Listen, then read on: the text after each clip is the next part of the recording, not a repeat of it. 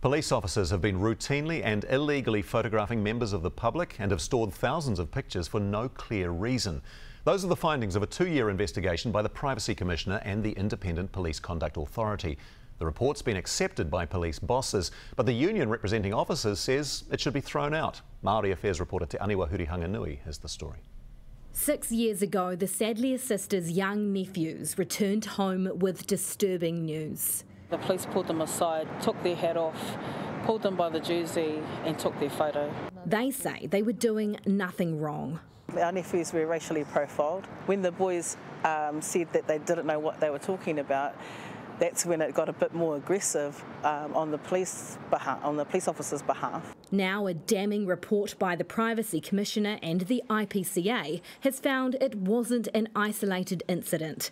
Police have been unlawfully photographing members of the public, including young people, for years. This will have been going on for, for um, at least a decade. The report found officers regularly take duplicate photographs and fingerprints of young people unlawfully. Many wrongly use consent to justify this practice, and thousands of pictures have been kept on mobile phones for no clear reason. There was uh, a real lack of understanding of the Privacy Act. That lack of understanding has led to the unlawful um, collection, use, storage, and retention of uh, photographs and personal information. It's clear that we can improve our training, and it's very clear we can improve our processes. But the police union totally rejects the report, saying it shows a poor understanding of how officers operate. If it was listened to, and it shouldn't be, it would create an environment that was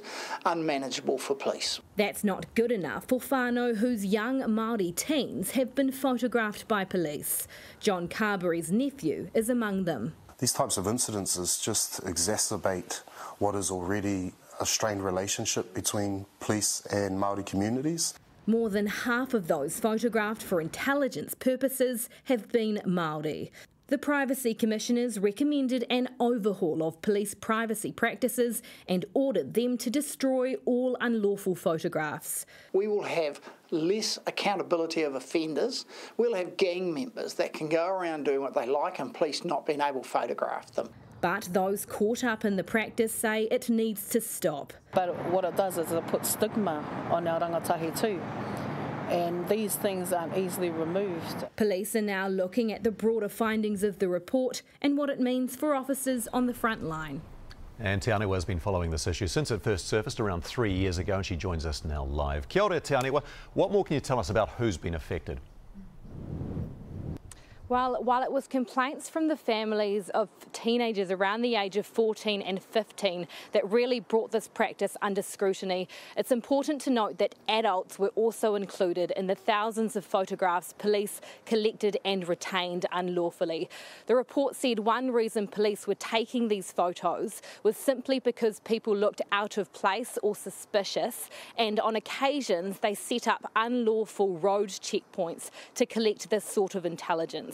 Now, the police have agreed to delete the unlawful photos in their possession.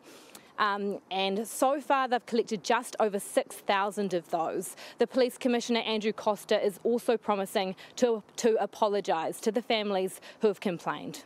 Ngā mihi e hoa in Auckland, Te Aniwa Hurihanganui.